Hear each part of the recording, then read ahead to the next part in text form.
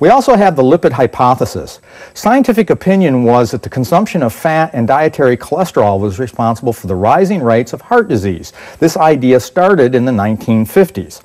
And it was embraced by the American Heart Association. And in 1961, they came out with what they called the prudent diet. It was low in fat and cholesterol from animal products. Senator McGovern, he was from South Dakota, which is a large state for cattle ranching and, and meat growing, obviously. He was actually voted out of office connected with this whole thing. He got voted out by the beef lobby because the prudent diet was talking about reducing your consumption of meat and dairy. And he dared to say you shouldn't be eating meat and dairy. And of course, the cattle ranchers got together, a political action group, and he was gone. They changed then politically, and they don't talk about specific foods. They now say choose meats, poultry, and fish that will reduce your saturated fat intake rather than saying don't eat certain things. Speak no more of foods, only certain nutrients. We also, of course, have the sugar lobby. The sugar lobby recommended that 25% of our calories come from free sugars. The World Health Organization says it should be no more than 10%. The U.S. sugar lobby worked with the Bush administration to cut WHO funding unless they changed to their way of thinking. So again, these types of decisions are not made according to what's really best for your health. They're decided on what's best for somebody's pocketbook. Butter versus margarine. We all know that margarine was a cheap and inferior substitute for butter. It's a fake food. To do this, we blast healthy vegetable oil with hydrogen to make it spreadable, and it also extends its shelf life. These are some things manufacturers obviously like. When they make it into a hydrogenated oil, they form trans fatty acids. And unfortunately, the trans fatty acids are more dangerous than what they're supposed to replace. So we have food adulteration. In the 1800s, there were five states that passed laws that oleomargarine must be dyed pink. No one was going to be fooled into thinking it was real food or real butter.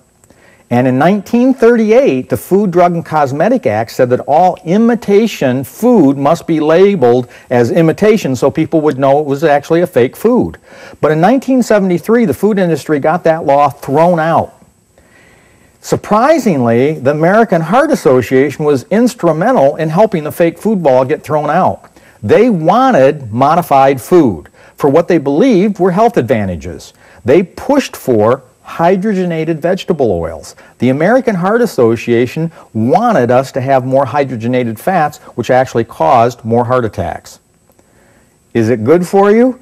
Strangely enough, a banana can make no health claims but cereal can. Recently, the Mars Corporation endowed a chair in chocolate science at the University of California, Davis. We'll soon see the FDA approved health claims on candy bars, but not on food. Your good diet is making you sick. We got fatter between the end of World War II and 1976, but we actually reduced our consumption of animal fat intake during that time. We cut out lard, we cut out beef tallow. We increased fat from vegetable oils like margarine and hydrogenated oils. We tried to eat what we believed was the prudent diet, and it's killing us. So we have this lipid hypothesis. 60 years we've been trying to reform the way we eat. Dietary fat is responsible for chronic disease.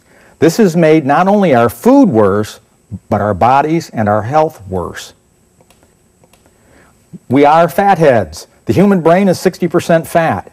Every neuron in your brain is sheathed with a layer of fat. Without fat in the diet, you couldn't absorb fat-soluble vitamins like A, D, K, E.